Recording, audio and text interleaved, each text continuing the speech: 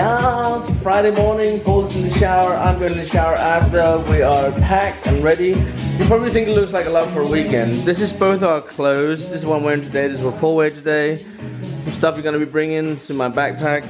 This bag is only full of quilt and uh, bed covers and all that. That's all why we got so much stuff. So yeah, but um, I'm waiting for us to come out the shower and then I can film in and then uh, we'll head down to the station. And Sally has already been handed in to my mum and dad, so that's perfect. Yes! And the music's pumping because we're getting ready for a party. On the wine gum bears, they're good. Party time. You are jamming with defected.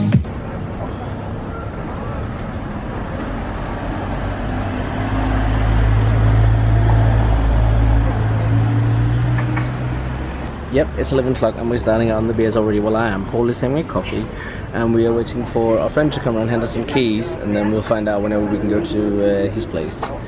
Um, we handed our luggage in at the main station. They have like a facility where you can pay some sort of money and they store your luggage for you until you come and pick it up.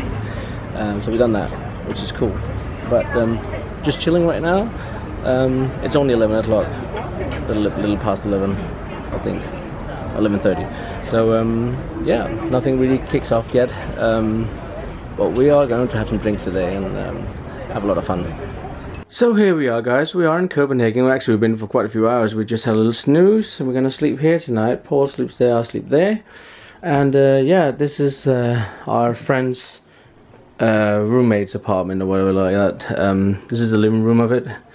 Um, I seem to always get surprised how small Copenhagen apartments are because they're so expensive. This is actually quite a big apartment though. Um, but yeah, um, they have a nice balcony in the back. Have a look out here. Paul is just having a shower now, I just had one. But yeah, we got a nice backyard here. Which is kind of cool. The air is nice and fresh and they had forecasted rain tomorrow but right now it's like cloudy so hopefully no rain will come up. Oh, and I set my beard. Um, I use some product. It's quite stiff um, because I use like a little bit of hairspray to hold it. Uh, we went out and had some food. That was nice. We had a nice steak, which is steakhouse. Treat ourselves a bit. And now I'm waiting for Paul to finish his shower and then we'll go out and um, have some beers and meet up with some people. And then uh, we won't be home too late tonight because the parade is tomorrow about 11 it starts. So we want to get down at least for like 12 o'clock or something just to see everything. But yeah, um, but when we got here, our friend which um, has said we could stay here, he's kind of like got us a little bit like, oh, thank you. Um, because he first, he was the one said, oh, you can crash at my place, that's no problem. Um, which is okay, so we're here now. But uh, when he came earlier today, like there's a lot of rules, like oh we can't do this, we can't do that, we can't get in here until 6 o'clock until his roommate's gone. So we waited till like 6.30 uh, in the evening. Uh, but when he came out to us, because he only had one set of keys, so we had to have another set of key made. Um, which you probably eventually will use anyway. But um, he wanted us to pay for that, so we have to do that. And then um, I mean, it's a little bit silly we have to pay for the keys, but never mind that. It's cheaper than a hotel because there's no hotels available. We have looked. But when he met us today, he just like came over and, oh, um, just remember not to do this and this and this and that. And I kind of wish I haven't said yes to let you stay now because it's an inconvenience. And I feel like, oh, well, that's very welcoming to say. We've just arrived in Copenhagen.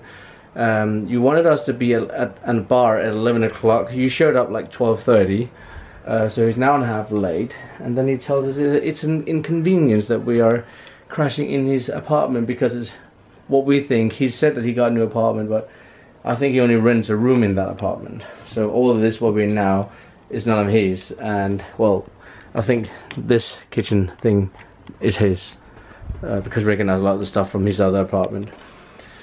So we felt very not welcome and um, he took off on his uh, motorcycle or motorbike with his uh, boyfriend and um, that's the last we saw him for today. But we brought these, uh, or bought these nice Pride wristbands. Can you guys see them? Well, it's not focused. Um, they're like 50 krona, which is about four and a half pound, five pounds, UK pounds. I don't know how much in dollars. It's like you times it up. um, about eight dollars and like six, seven, eight dollars. But um, we bought these, and um, the money is going towards um, the Gay Pride for next year, which we thought well that's a nice charity because that will help uh, make the place safer and better and more. Um, like it just supports a good cause. So I bought one for both me and Paul, and uh, yeah, that's awesome. But um, I'm probably gonna bring the camera out tonight and film a little bit of what we're doing. Um, but today is not the big filming day. That's tomorrow. Um, tomorrow I really want to film a whole lot of stuff and have like a whole lot of good fun video. We'll see. Alrighty, but I'm gonna sit down now, wait for Paul to finish his shower. That's gonna be a little while. Um, yeah, so I'll catch you guys after or when we get to town. Alrighty, guys, look at this. This is like uh, an industrial building, and you get all these cool lights. You see the flag down the side. Oh, look. Yeah, trying to get it, and you can see it over there. That's rainbow, but that actually is like a waving flag. It's so cleverly done.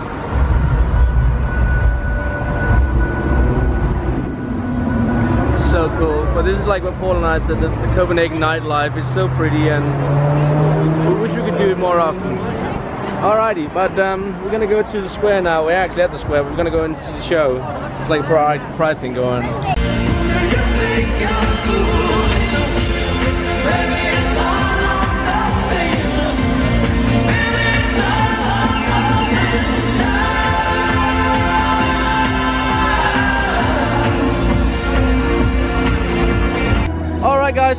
Down to a bar now. Um, it's impossible to get in there. More than half the square has been taken by the new metro station building. Again. Um, it's taken them like, what, three, four years Oh, so it's far? taken so long. a super long time to build that metro station.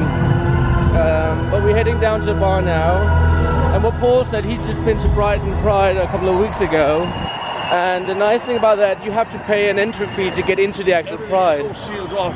Yeah, the nice thing about that is that us who wants to come and see it, us gay people, we pay to get in and that's fine. Um, at least we can get in and see something. Now it's just fully packed because it's free for everybody to walk in. So people who is just looking for a good time can still walk in and take up a whole lot of space. And this is the gay pride, it is for us.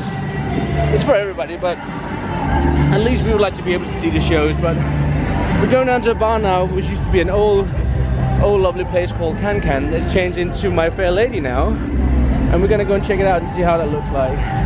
Because our friend said it's really nice, so we're gonna go and have a drink, meet up with some friends eventually when we find them. and uh, yeah, just hang out and enjoy the night.